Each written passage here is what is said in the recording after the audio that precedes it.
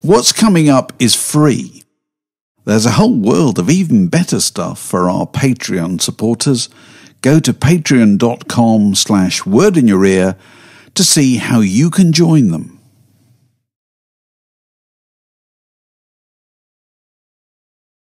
Welcome, welcome to uh, another edition of Word in Your Attic, uh, and to a man who was uh, the head of the production company that made the Day Today, and, and Alan Partridge, and, and who's later the controller of, of BBC One and, and ITV. But these glowing achievements pale into insignificance when you notice that he has wallpapered his shed with old uh, back numbers of the Melody Maker. He's lagged his shed with old lagged. It's true. It's, It's, the true. great Peter Fincham. Peter, welcome. So look, this is fantastic. So when you're sitting there, are you? Well, I don't know what era these papers are. Is this kind of Zep Quo Heep to Tour, or is this Crispy Ambulance? You know, album review, Page Twenty Seven. Okay, so it's the early seventies, and All right, right. a family. I was I was one of five kids, and we were all told we were allowed one subscription Yeah, a week to whatever might be our interest. So you know, Yeah. it was one of my brothers. He, he might have he might have subscribed to Cricket Weekly or something because that's his kind of thing.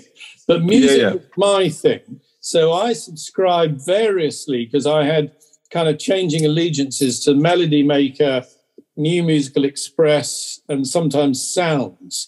And basically, when I was building this shed about 10 years ago, I had boxes in my attic, uh, which obviously, you, you you know, because I'm not in the attic, which is your video cast name, but I did have boxes in my attic of my Yeah. old, because I never got rid of them. I couldn't bear to get rid of them.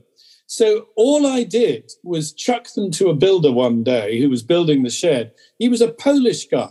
So he can't have had the shared cultural history at all. And I said, line the ceiling of the shed with, with pages of this. And I've got to say, he did really well. it's picked out- fantastic. when people come, I'll, I'll give you a little walk around. Yeah. When people come into this shed, they end up with a sore neck because the only thing reading the NME. That's is, so is brilliant. exactly. So I don't know if this is going to work, but I'm So going to. isn't it very very distracting when I'm you're sitting walk there that you're? slowly backwards. Oh, I'll yeah, yeah. I'll walk slowly backwards and see what you see. Oh, Uh, That's brilliant. fantastic. I, I've got to warn you, there is one serious faux pas.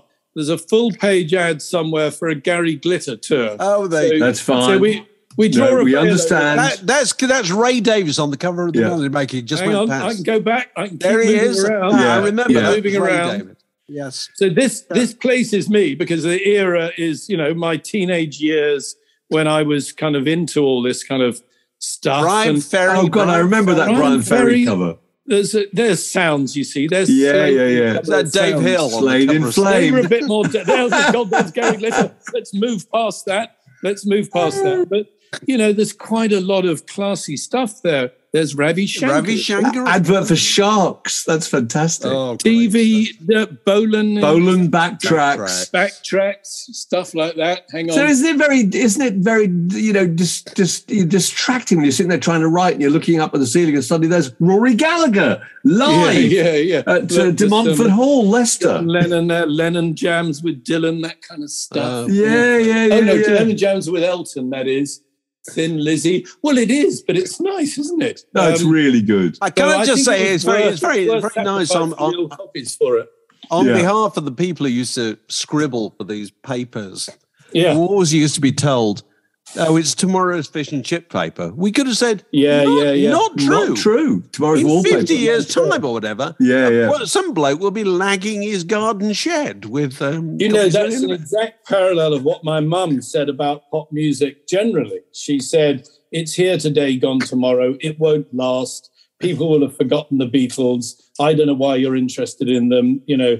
And that was, a- but that was a normal thing to say. Completely. 60s, Yeah. Maybe a bit less by the 70s. Um, the idea of the ephemeral nature of it. And yet here we are, and we still listen. Because my career is, you know, basically in television. And I always say this to people in television you know, let's not get too excited about what we do. Mostly a program we made 10 years ago isn't going to be watched at all unless it's a real classic. And certainly stuff, some go, you're not going to watch programs made in the 60s. Most of them are ephemera. But mu- albums, great music from the 60s and the 70s, sounds as good today as it did then. It's timeless and, and uh, you know, all the cliches about soundtrack of our lives. It's true. So, So, can we yeah. transport you back to where we uh, traditionally start with these ventures, Sure. which is which is the the the first? Can you remember what the record playing equipment was in the family Dansette. home? Yeah, yeah. It was a Dansette, and it was had a, a lid, and you lifted it up, and Yeah. then it had an arm, and you could you could line up um, uh, Yeah. singles like a stack of pancakes Yeah, and listen to them as they dropped and the needle Yeah. landed on them. Did And- it have, and did of it course have a thought that was carrying predictable. handle? Did Sorry, it have a carrying handle so you could take it what- to a picnic? You used to have a handle. uh, yes, but I don't think we ever did. No, nobody think- did, but No. it always had it. Yeah, yeah, yeah, yeah. Yeah. And if and, and picnics, they always rained if you went for a picnic. Absolutely. it would have Where are you ruined going to get the power Dansette. from anyway? the great yeah, yeah. invention was the battery operated uh, record player. Do you remember that when you click back the arm and you I that, do, was, I, that was I do, portable but I don't anywhere? think we had one. And They I were don't fantastic. Think we certainly what was called hi-fi was an impossible dream. You know, this was Yeah, yeah. people who were, you know, had interest in this sort of thing. My parents wouldn't have thought it was worth investing in hi-fi. Um, we just had the bog standard Dansette and, and mainly singles. I mean, albums you had to save up. You know, a lot of pocket money to buy an album. You had to really think about it. And I've, Yeah. I've seen you cover this in, in you you know in your show before. By the time I bought an album, I had almost memorized the credits. Oh, yeah. Oh, you know, I- absolutely. there was, I'd been in the in Standard. the record store in Bromley High Street or whatever, and I'd looked at the sleeve for so Yeah. long that I felt I knew the album before I'd ever paid it because it was a it was a big investment of your pocket money to Yeah. actually sort of splash out on an album. So, what was on that record player? Can you remember what was being played? Your, you know, parents' It- records and, and your first records. my parents' records would have been would have been classical or, or whatever is. Much said that. So I thought that the first this is a this is an example of false memory syndrome. I could have sworn that the first single I bought was Robin Hood, Robin Hood riding through the Glen by Dick James because it was on the telly, and I'd, I'd have been about four or five. But looking through my collection, knowing that I was going to talk to you about this, I discovered that it wasn't that. It was William Tell by hang on, what's he called? It's David with the Whitfield. He was a big name, David Whitfield. Yeah, I mean, also, I mean, the great thing about Dick James singing Robin Hood is that we all know he became the publisher of the Beatles. I don't know who David Whitfield when No, when eh, David Whitfield, I think, represented the UK in the Eurovision Song Contest on more than one occasion. I think. Well, right? there you are. There you are. I actually think William Tell's a better piece of music than Robin Hood. You know, it is the William Tell. Uh, come away, come away with William Yes. Tell. Yeah, yeah. It's Rossini, isn't it? You know, it's Rossini wrote the I original. mean, now, now, now you're showing off your classical knowledge there, David. Surely I, I don't know. I don't know. Um, well, but I I'm very think that impressed was- that you've still got it. That's very good. Yeah, that, that was probably a birthday present when I was four or whatever. I think the first. What's the first one you bought? Uh, well, we would go to uh, um, to the record shop in in Bromley. I come from Beckenham, um, and I've, I've again looking this through. I've found some quite early Stones, like the last time or it's All all right, over okay. now. So I was born in 56. So this is a, you know, 64, 65. I was about eight or nine. I was probably old enough to use my pocket money to buy a single. The Yeah. first album I can remember is a very specific memory because I kind of persuaded my dad to buy me a hard day's night for my eighth birthday. Wow. Um, uh, and uh, I can't find it, which is a shame. Um, but I, I'm that I think was the first album that I um, that I ever owned. So no, nothing very unpredictable. It's the Uh, Beatles. for it's not sake. a bad start, Hard It's Days a Night. fant- uh, very good fact, album. You could argue that life could have been a bit of a disappointment. Actually, after that. Absolutely. It's all downhill after known- Hard Day's Night. Pretty much our favourite Beatles album. entirely written by Lennon McCartney with nothing, no contribution from George. Absolutely. Absolutely right. Yeah, It's the only, Mark and I were talking about this the, the other day. It is the only Lennon and McCartney album, isn't It it? is, yeah. Yeah. It's the only- absolutely right. The others I either don't have know. George You on it or they have know- covers. You know more than I do, but you, you was was George standing in the wings saying, "I've written some good songs." Um, and they, you know, we see this in the, in the at that Let It Be point. documentary, don't we? Well, didn't they have to do it at incredible speed? They'd, they'd done the Yeah, songs were for the film and they just said that we've got another side to film. So they were the pros that could just bang stuff I- out. I- and George I think probably that- agonised. yeah, I think at that point they were just really priding themselves on the fact that hey, we're just like Tin Pan Alley. We can Yeah, do yeah. this. Yeah, yeah, You know, yeah, yeah. Put us But- under pressure and we'll respond. You know, But there's no filler on Hard Day's Night. There's, Absolutely That's incredible. it's a brilliant record. It's a brilliant. brilliant- I think the, the album, the, the Beatles album that there is there is filler on, if you're being really honest, is Beatles for Sale. Yes, yes. Mr. Moonlight. Four or five great originals. Kansas and then City. they just knock out things that they've been playing for years. Yeah. yeah, They'd yeah, run out of steam. yeah. Yeah. So what Yeah. else have you got? But Dad, so the, the first one you bought, kind of like with your own money, you were saying was probably would have been Hard Day's Night you got for, for Christmas. I think. But what, what what was the first one you bought yourself? Okay, so when I got, I'll, I'll take you over to my Yeah. vinyl collection, which, blimey, it's not as impressive as yours is, David, because it because you you know for the reasons I say. So I get to kind of vinyl land, and by now, well, there's a there's a moment in my life uh, which which shapes everything, which is when I first heard Bob Dylan, and then. Uh, but we're, we're jumping through a few years now. I'm 14 No, or go on. 15 years old. Yeah. And, and so I must have read something probably in the Melody Maker that made me think I need to, you know, go back through the Dylan catalogue. So then I start buying, you know, the classic Dylan albums that have been around for quite a year, for, for quite a while. So I think this is probably the first moment at which I realized you don't only have to buy new albums, you can actually go back into people's catalogues and buy their classic albums. Yeah. And and frankly, I think I kind of bought them all. It was a hell of a um, I'm saying that now and I can't find them because I can only find the new I was one. so confused by John Wesley Harding when he came out because I thought that that was the band. I thought those people with Yes, the, with yes. the members of the group. yes, but I became deeply fascinated. I'm determined to find an old Dylan album. All I seem to find is 70s Dylan albums at the moment. I was fascinated by the idea that at the point at which everybody else turned right, he sort of turned left and stripped out all the instrumentation and went kind of Yeah. folky and then went country. And I found that absolutely fascinating. And and you, know, so then then from that point on, and probably for the rest of my life, it's sort of been Bob Dylan and the rest, which you, you know doesn't make me very original, but was certainly. Uh, Oh, this is fascinating. So, so are you the know- what are do you the absolute low points? My my daughter, or my one of my kids, has nicked all my Dylan vinyl. There you I've go. There you go. Okay, It That's happens. that's life in the 21st century. Those. Yeah, because here's the thing. You know, Spotify started this thing called Wrapped at the end of last year. Oh, the- the- the or- where- years. where, they basically Yeah. tell you what your favorite artists are. Four, three. I've got four children. Three of my four children, Bob Dylan was in their top three. Which you know, I don't know whether I should feel proud about that or uh, I don't know what I should feel about it. Um, but they've nicked my, they've nicked the vinyl. Well, it's the vinyl they want, isn't it? That's the thing. so yeah, are you They- still they buying vinyl. the?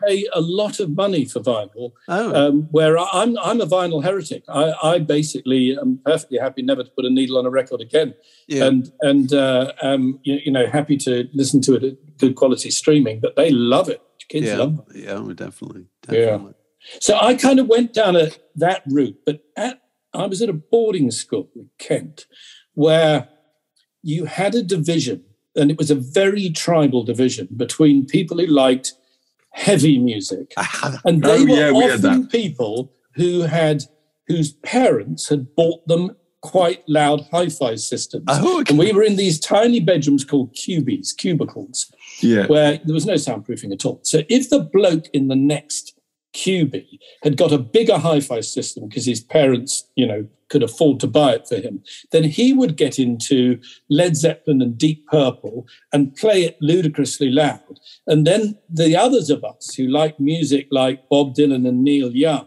we would cower, um, Yeah, you, you know, and and I and I was in that tribe.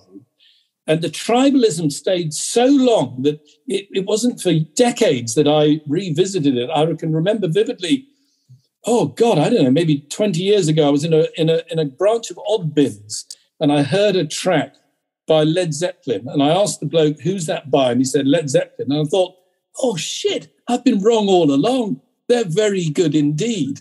And I then went back and revisited and. and But then you just uh, saw them as the enemy, presumably, didn't you? saw Or them as the the people enemy play them, so- playing them. They were Yeah. so loud, and I couldn't hear John Yeah. Wesley Harding because they were playing Led Zeppelin four or something. Also, John Wesley Harding's not really a very good weapon if you want to kind of fight back with volume. No, it's not. That's not going to work, is it? I dreamed I saw St. Augustine will Exactly. not defeat. I don't think Purple. Benny Dillon quite wins the hi-fi battle in the row of people at my boarding school. I'll tell you. I'll tell you what's interesting though. And, and nowadays, I find they're going to Oddbins occasionally, and they're very often playing music in Oddbins. And they're very Yeah. often the kind of guys who used to work in record shops years Yeah, ago, you're very similar. And now they're very guys in similar. their fifties and sixties or whatever, Absolutely. working in Oddbins. And they love the idea that they can go in there, and they can play ZZ Top or whatever. Yeah, they can play whatever they want. They make their own playlists. And then somebody, somebody, a customer comes in, they'll go, "Oh, I know this" or whatever. But if you think about it, choosing a bottle of wine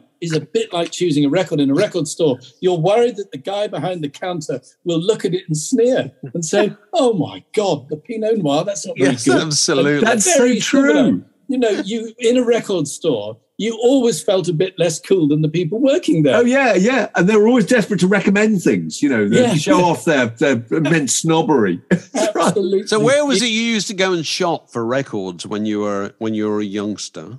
Well, I was either in. I come from Beckenham, so I was either in Beckenham or Bromley High Street, which both had a both had record stores. Were they or when I was at boarding, I was at boarding school in a place called Tonbridge in Kent, right. and and and there was a record store there. And, and when you you know when you were, had some free time, uh, if you were into music, you would go down there. I just was driven the record store mad because you would flick through these things, admiring the album covers, reading the lyrics or whatever, but you didn't have enough money to And then buy didn't buy them. I know they were so know- dog-eared. but also nobody in those days, and you know, trying to ascertain exactly when these things arrived, nobody had credit cards. So if you Oh. didn't have the cash money God, on no. you, God no. you couldn't you couldn't think, oh, Yeah, I'll yeah, yeah. get that and I'll pay for it in three weeks or whatever. It wasn't an option. And there wasn't really a mechanism for listening to an album other no. than going into a record store and kind of, you know, sometimes they had little booths and they'd play you a track or two, but you quite But no- no felt you were out saying you're welcome. Did you that- have at boarding school? I'm intrigued by this. I've got friends who've been to boarding school and they had, had this experience that when you came back from the Easter holidays or whatever, or summer, people would come back with new records.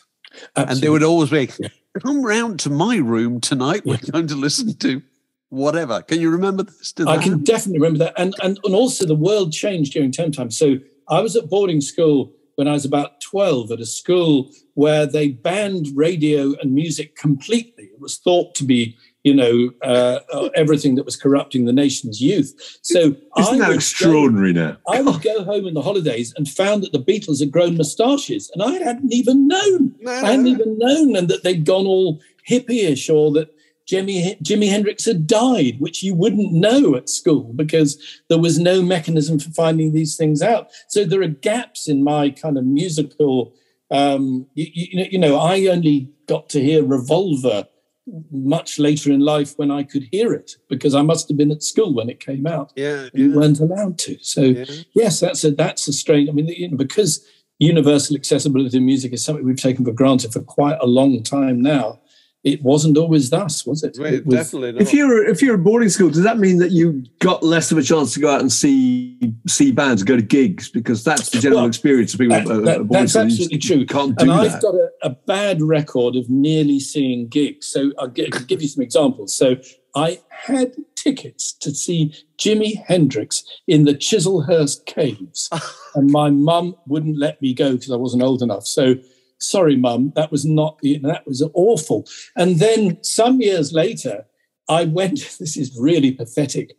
I went to a concert, um, uh, a free concert in Hyde Park by Pink Floyd. Um, but I watched the support acts, which were the Third Ear Band and the Edgar Broughton Band. Yes. But then I lost my nerve because it was getting dark. And I thought, I, I don't like being in Hyde Park here. And I got on the train back to Beckenham and I missed Pink Yeah, Floyd. Miss Pink Floyd. Oh, Tragic, isn't God. it? Tragic. On the other hand, a a thing I did when I was at boarding school, which would have got me expelled without a doubt, with a friend of mine called Harrison. We left after lights out one night went, took the last train up to London, went to the Roundhouse and saw an all night gig. And the, the top of the bill was Hawkwind. And then we got the first train back and we were back in our beds before breakfast and nobody ever found us out. Oh, And that was memorable, not only because of Hawkwind, that was the first time I ever saw a naked lady. ah, oh, yeah, absolutely. I can't remember her name. Stacia. Stacia. Stacia. There you go. I was probably about. You can't then. remember the. I can't remember the name of the first naked woman I saw. Good God! I did What's see her the in the bloody middle, world in the coming to? distance, but even in the middle distance was quite exciting at the age of fifteen. Oh dear! Um, and uh, but that was a crazy thing to do because I would have been expelled without without hesitation if I'd been. That- I love the idea that you so they were going down to breakfast the next morning smelling of you know patchouli oil and marijuana. Exactly. yeah, But I, yeah. I would see gigs. I, I, the, the Fairfield Halls Croydon was the place Yeah. that we. That was you know that was exciting, and I'd go to see Mott the Hoople there, or yeah. I saw a King Crimson, and then I can't. I mean, I can't remember which incarnation. I don't think any two gigs that King Crimson have ever played have had the same lineup. So uh, I'm sure Robert Fripp was there, but other than that, I'm in the faintest idea. Actually, no.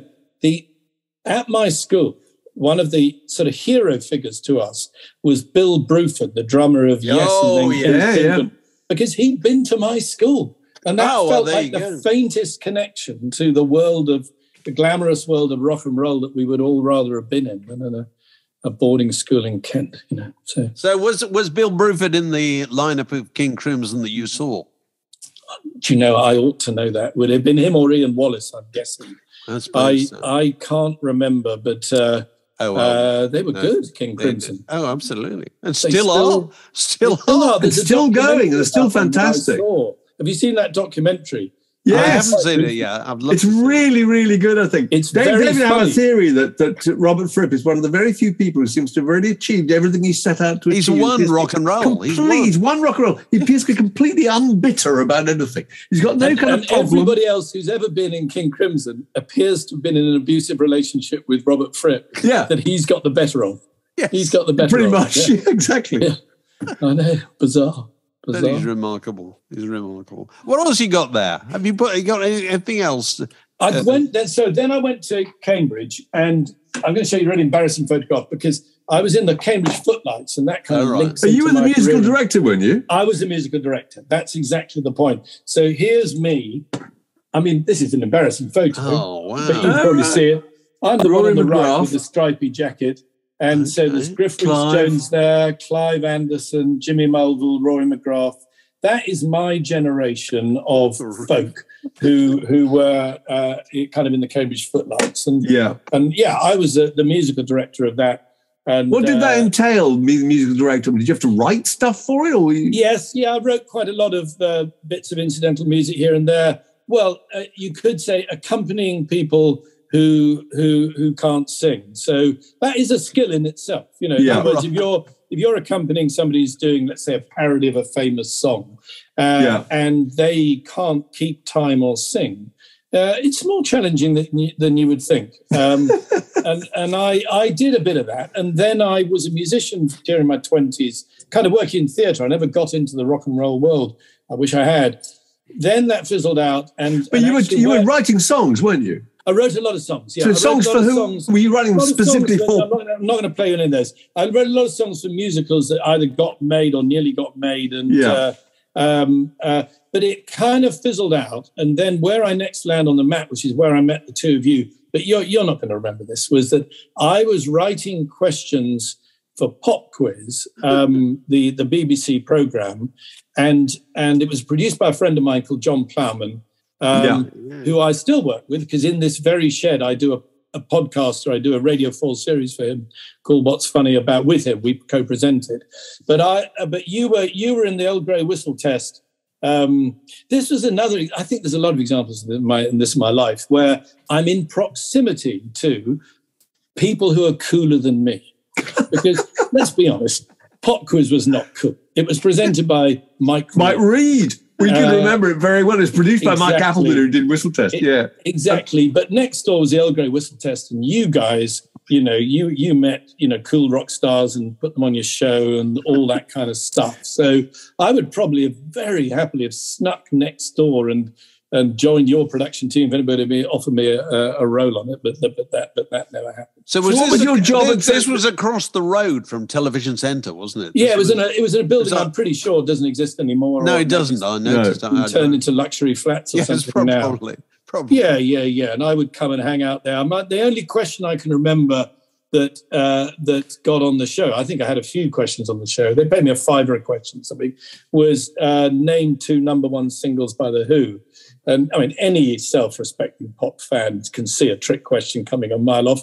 The Who never had a number one. I'm going to say, yeah. yeah. well, you know that. I mean, so so Tom Robinson or, or uh, Tony oh. Hadley of Spandau Ballet fell at that hurdle. I'm sure. They'd have said, "Oh, my generation" or something, and yeah. they, would have been wrong. They never got to number one. Well, what we remember about pop quizzes was one week when Mike Read decided to wear a hairband. Do you remember that? He decided he was, going, he was going to start a new fashion. He wore a hairband. I think the producer took him aside afterwards and said, "Mate, lose the hairband. It's not working." I, I do remember uh, an episode of Pop Quiz I think it was a Christmas special that was Spandau Ballet versus Duran Duran. Oh yeah, yes. yeah, it was. And, yeah, it was. and I can remember it because I'm roughly the same age as Spandau Ballet and Duran Duran, and I'm about 27 by this point, and I'm writing questions for Pop Quiz for a fiver a go. That is not the peak of anybody's career. That feels, and I remember looking at these guys and thinking, sort of where have I gone wrong? Because I would have swapped my life with theirs in an instant at that moment. Yeah. Because they just appeared to be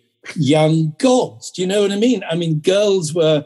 You know, they were sort of, you know, they were seeing more sex than a policeman's torch at that particular point. With exactly, and thinking they're good looking and they they they've got you know they they they, they I mean that's not my music, um, but they but they seem to have you know won the lottery they, of life. All, they were kind of they're, they're still there, aren't they? they really, all I think they have. Later. I, when you see Martin Kemp, I feel the same way. Actually, he's still fabulous looking and yes. just seems to have absolutely kind of landed and, on and his he feet. He had an acting career, and I, in fact, funny enough, I used to have party when I was the director of television at ITV. I used to have talent parties in the garden right by this shed here. And I met Martin Kemp. And, and so the roles are reversed because I hate to say it, he was quite excited to meet the director of television at ITV. I'm sure. He was in some ITV drama. And, and I thought, how weird because to, however many years 25 years ago i gawped at you and, and uh, I've, i met gary as well and uh, i've gawped at you and thought you know how's it all gone so well for you guys so um, anyway then going on from pop quiz there's a musical link because you you mentioned some of the things that i did in the 90s when i was running talkback but i i created nevermind the buzzcocks which in okay. a sense was the uh, follow up to Pop Quiz. And yeah, yeah. The, yeah. the, the second to that are yeah, we'd made a show called They Think It's All Over, which was a, a very successful sports quiz at the Nick time. Hancock. Nick Hancock, which yeah. Rory McGrath was yeah, in, who was in that photo. And that really was a big BBC One show. And then I went to the BBC in a very opportunistic way, as you have to as an independent producer, and said, I can repeat the dose here. I've got two ideas. I've got an idea which uh, uh, which was a general knowledge quiz, which is called Thick as a Plank. And I've got a, a, a, uh, a music based idea called Never Mind the Bollocks. And they commissioned pilots of both. And then Thick as a Plank got thrown in the bin, as things do. But they said, we want to do this one, but you can't call it Never Mind the Bollocks. yeah, sure. So I'd sort of seen this coming a mile off, really. So I said, I'm not worried about that because I'm just going to call it B, never mind, never mind the B dash dash dash dash CKS. And um, uh, so they said, oh, well, we're going to have to talk to the Radio Times about that. I, mean, I, love the idea that we're talking about a world here where the Radio Times, uh, in a sense, dictated the, the you know yeah, the commission yeah. policy or titles. So they went off to talk to the Radio Times, and they came back and said, "You cannot call it B dash dash dash dash CKS because our, our, our readers will work out that you mean bollocks." but I had the trump card up my sleeve and said, "In that case, we shall call it Never Mind the Buzzcocks." Very good. That She's a brilliant title. Called it's still who was who was the presenter of the uh, of the pilot show then? It was Mark Lamarr. Oh, right, okay. Mark Lamarr, who was as hot as hot because he'd been on Channel 4 doing, I don't know, the tube type things or whatever. Yeah. Uh, and he was very, very funny. But yeah. he was, but he wasn't comfortable in his skin, Mark Lamarr. And, and this happens with those shows, with those panel shows, even though they are in a way kind of a meal ticket to the guys in them. After a while, they think, but I can do so much more Yes, than this. All I'm I'm doing Yes. Yeah. I'm. And he he was like that, and also Sean Hughes, who was originally in the lineup. They mm. both eventually left, thinking, "I'm going to go on to more glorious things." Oh, beware! There's an old Hollywood saying, "Don't quit the hit." And the danger is that you go on to less glorious things. Because the amazing thing, I was thinking of this only the other day, is whenever I turn on the television, is never mind the Buzzcocks, it's still on. It's still there. I know. How? I- And I think, do you know? Are is they a- still making it? I I think, know- yeah, who the hell is watching it? it, it ran for 19 years on BBC. Then they rested it, and then they brought it back on Sky. It's on Sky. But I, when I sold my company, Talkback in 2000, almost as an afterthought, they there was a clause where they said they wanted to buy my intellectual property. And, Yours? and yeah, yeah, yeah. And I, because they were buying the company and stuff, I said, "Oh, all right, you know, intellectual property." I should never have signed that clause, or I would still be getting format fees. Yes. I, I didn't. I, I I worked with some colleagues who you know worked up the format with me, so I didn't know all of it. But it would have been a nice little earner, wouldn't it? But if who knew still- these things would last for so many years? They rather like pop music in the '60s, television in the '90s. You didn't believe that what you were doing would still be on air or would resonate like things like Brass Eye and and the Day Today all these years later. You didn't think it was going to be like that. You thought, Well, the the influence of those programs is huge, and I know, Partridge is the one that's astonishing. Because Partridge still got those feature films.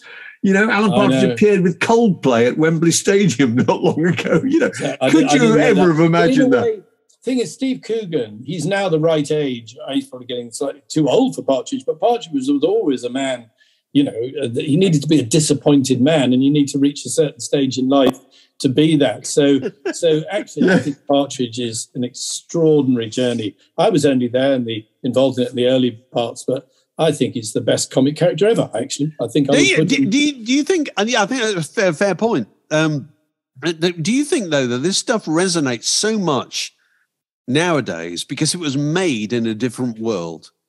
You know, it couldn't be, sure about it that. couldn't be, could it be invented tomorrow? maybe. I mean, there's plenty. There's plenty of crap television in the '90s as well. So No, I know, but yeah, when you sat down at a certain point, yeah, it was yeah. nine o'clock or whatever, you watched it. Whereas that kind of humor seems to me just has just disappeared into a million memes and you know, a million YouTube Yeah. clips. I, I don't know. I don't know. I've, I'm uh, by instinct very resistant to the idea that there were golden days and the, and No, I know what you mean about or, that. or rather, I'm I'm that in relation to television, partly because I professionally needed to be because I ran channels for ten years. So you can't say things ain't what they used to be if you're running BBC One or ITV. I'm much more like that in relation to music, as I feel. You know, who cares what I think about music? So I think the best music was, you know, was made in the early 70s. If you haven't one of you written a book about this? I would say 1970 to 1975, I would fight a battle, if you like, to say it's never been surpassed. Those But doesn't everybody doesn't what- what- everybody say that about No, the, but the period one thing of you fame? could say about without any contradiction, you could scientifically prove it, is that, Yes. and, and Danny Baker is a particular exponent of this argument. More happened between 1970 and the arrival of punk than had ever happened before in popular music or will ever Yeah. happen again. And that's undoubtedly I, true. honestly, I've had this discussion with Danny Baker, and uh, I'm on the same page. And of course, Danny's a great prog rock fan, which I'm also a great Prog. prog, rock fan. the reggae. But, I, but yeah. the irony of what you're saying is when punk came along, it came along to say music has got boring, lazy, No, it's not. tired. yeah. It came along at the end of the most fertile Yeah. Yeah, yeah, yeah. phase of music. I mean, what, what were they rebelling against? There was fantastic music around, uh, but you know, they they successfully said, "Don't listen to that. Listen to this." no, But- absolutely. Very Yeah. successful. And you could argue that that uh, you know that a lot of the people who were saying that you very rarely hear their records now. You know, I well, mean, and that's true of most punk. I mean, there is obviously is. fantastic punk like the Clash or whatever, but a lot But of most of it seems so dated, doesn't it? It's so it narrow. terribly dated, Yeah. and and you know, there's plenty of music from the years leading up to it that is because you can't listen to it as a piece of music. You listen to it as a kind of statement, and the statement doesn't matter anymore, and therefore it doesn't seem to have any value, really. Yes, yes, exactly, exactly. Once you've robbed it, it, it, it you know, once you r- rob the immediacy of it, the context of it, Yeah, yeah, yeah. is it still fantastic music? Well, you know, that some of it is, but and, and from the punk era came some fantastic bands, kind of you know, coming and it's smuggled in under Yeah. the punk banner, but that's Yeah. a different thing. Um, but but I, you know, I so I, yeah, I do. I'm still a bit in the seventies. But but also you have go back from music to television. You know, in the days uh, the the, 70s when all that stuff came out, you had relatively few uh, ways to market. There were a few record Yes. companies, they controlled things. yeah, You yeah, had one radio station, everybody listened to it. So something was exciting, everybody agreed about it very, very quickly. You don't have that now, anymore. That that's gone. You know. So I was thinking about this this week. You know, the Oscars is is swept by what's it called? Every, everything, everywhere, all at once, or whatever. yeah, yeah. Yeah, I haven't met anybody who's seen it. Now, No, you know, no. you know, wh- whatever it's- won the Oscar in 1974, Yeah, everybody yeah. would have seen it because Yeah. everybody who went to the pictures would have seen it. the sting. Yeah, uh, think. whatever it was, you know. yeah, yeah. And, no, uh, I, I, I know what you mean, and I think that I mean the role of music on television. When I became the uh, controller of BBC One uh, in 2005, uh, um, I sort of I, I thought. I wonder how I can push the limits of my power here. So I went to a guy you almost certainly know called Mark Cooper, who was the head of music Yeah, yeah, at yeah. BBC at the time. very well. I said, Mark, I'm thinking we might commission a, a thing called something like the BBC One concerts or the BBC One sessions, um, and you know, put it out the slot after the news at 10:30 after the news. Can we do that? And he said, if you want to do it, of course we can do it. You're the controller. So we did it, and we just literally. He said, "Who do you want?" And I said, "Well, I'd like to meet some of my my childhood idols." so we, you know, we got Paul Simon came and did a, a, a show in that. Um, uh, um, that that church in Old Street, I think. Oh, yeah, Everybody was there. Luke's, The only Yeah. person who wouldn't do the church in Old Street was Cat Stevens, Yusuf, because he, he's a Muslim, so he's not doing Yeah, yeah. church. So we went somewhere else. Then. And, and we did Amy Winehouse, we did all sorts of, uh, who was still quite new talent at the time. Literally, just because we could, we did it. Yeah. There was, in other words, there was no answerability to anybody. The ratings were okay, um, but the, the promotional the promotional power of a BBC One slot got some very big artists out. Absolutely. did it, things like that. And I remember thinking, this is a bizarre world we're in when you can just do that because you fancy it. Now, by the time there was no fe- fear of failure, though, was there? The whole idea now, no I feel people are there's no terrified of having their name attached to a thing that doesn't work. You know, there's no ratings pressure at, at, after Yeah. the news. So so if you got a million viewers or whatever, that was perfectly acceptable. And you could you could always, and this was a thing at the BBC anyway, you could say, well, this is a commitment to the arts because by now.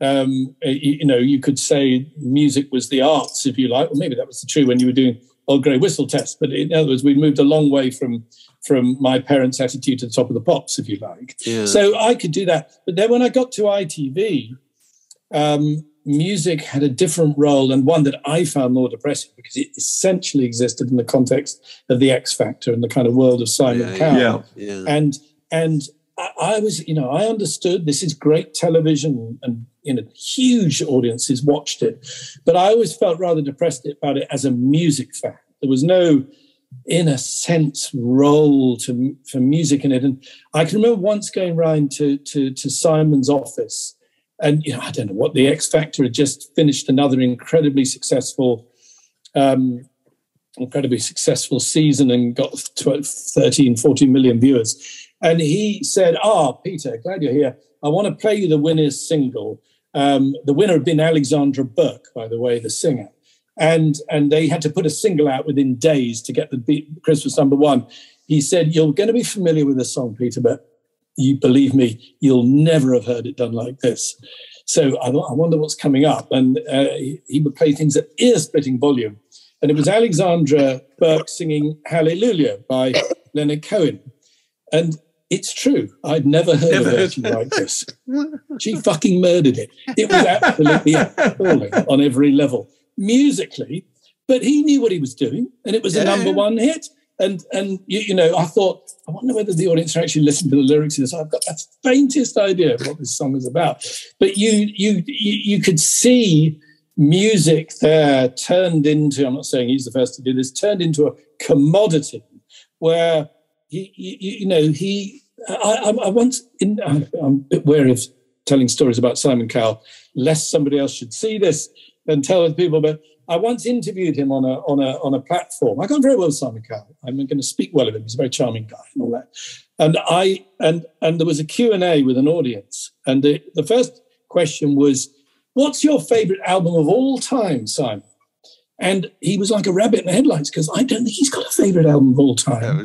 and after quite a long pause, he said, "Beatles' greatest Dark hits, Side, Dark Side of the Moon by Pink Floyd." And I honestly think it was the only album he could think of and, he, and he knew and he knew made a respectable answer if you like. Yeah yeah yeah. Because this was a world you know music to me i'm kind of glad in a way that i haven't had a career in music because i've been able to be a fan of music and remain a fan of music. And but in television you also find music where it's a kind of commodity and it's nothing to do with yeah, good music yeah. at all. So the, the way we traditionally wind up these conversations which have been fascinating actually is ask people to tell us what is the greatest record ever made. Do you know, know the answer I, to that? Do you know I, the answer? We're still very keen to, to, to learn. Because we've searched we, high, we've searched yeah. low, and we haven't found an answer yet. I know. We still haven't found what you, we're looking for. Go on. The trouble is, I haven't got a very original answer, but my favourite artist is Bob Dylan. Right. And if you're my generation, so you caught up with the 60s retrospectively. And I used to get together with a group of people to do nights where th- th- this was with people like Douglas Adams and Richard Curtis, all big Dylan fans. You may have had them on this very, but well, not Douglas, of course, he's not with us no, anymore, no. but you may have had them on your on your video cast. But uh, we used to get together to do a sort of countdown to the best ever Dylan track. And always in our top tens, uh, Blood on the Tracks would be quite heavily oh heavily featured. The reason being, we're of a generation to have bought it as adults and understood it as an adults, whereas Blonde on Blonde or whatever, we, we you know, we, we, were, we were kids when that came out. We caught up with it late, later. So I don't think I can do better than saying Blood on the Tracks by Bob Dylan okay. is the best album ever made because I sort of think it it's is. got a bit quiet now, isn't it, Dave? no, that's just me. It's my blind spot. It's my blind spot album. No, it's, it's mine I understand the blind spot, and you're and, and also there's a debate among Dylan fans as to whether he should have put out the original version of it. Which somebody sent me the other day. I've been listening to the original version, and it's distinctly better. Well, uh, you're wrong because. The, but a lot of Dylan fans, and I know you've had Lucas Hare and Kerry Shale, who are yeah, friends of yeah, mine, and I've been on their podcast talking about Dylan and everything. But the, the thing is, his brother said it all sounds a bit the same, Bob. You need to re record some of these tracks with a band. And I think he was right. And I think, great though those recordings are, they don't have enough variety in them. And so I stand by the re recording of them in Canada, uh, where you okay. get more electrified. But I, I mean, we are disappearing into the more. I was going to say this is precisely what these these podcasts are about. Is, is, is three three old boys arguing about which is better, the original. I think we, I want I, want to Peters. I want to know Peters' view on the. Uh, on the, we were talking about the other day. The Rolling Stone have just published a very interesting uh, major feature called "Wretched Records" by really great artists. It's fifty, yeah, fifty. Okay, yeah, it's a really good idea, and they got one Bob Dylan record on there. Which is that, well, which you is the one that Bob Dylan's made you think it is genuinely horrible. It's without. We, we think we know the answer to this. if it is an album. It's either it's either um, knocked out loaded or down in the groove. It's that's absolutely right. They say it's down in the, down in the groove, and, and, actually, down in the groove is considerably worse than knocked out loaded. It is considerably. it is. Worse. It's got no decent tracks, and I think saved is in there too as a possibility. No, saved, no, no. Saved, saved, saved, saved is not a great album, but there's some good tracks yeah. on saved. There's some good songs on saved that are better in the in the live versions on the recent Trouble No More. I also must put in a word for the very recent Fragments, which is the yeah, yeah. bootleg version of Time Out of Mind. It's a revelation and has had me revisiting Time Out of Mind uh, uh, with fresh ears. It's a great, um, great thing that they did there. Um, to re. Oh, you don't want to hear any more of this, do you? This no, is, you're, we you're do this. Is we can listen to this all day.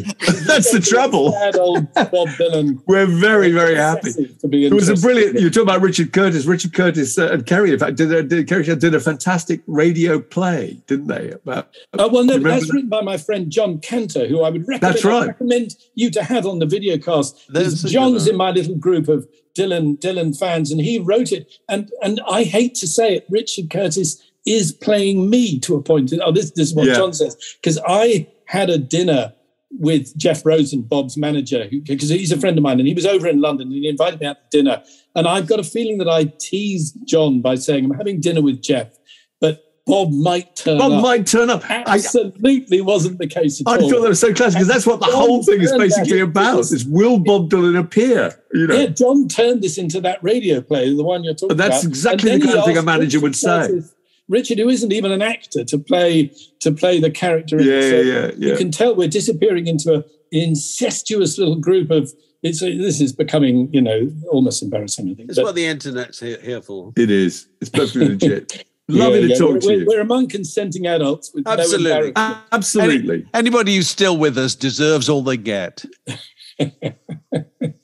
That's modern television.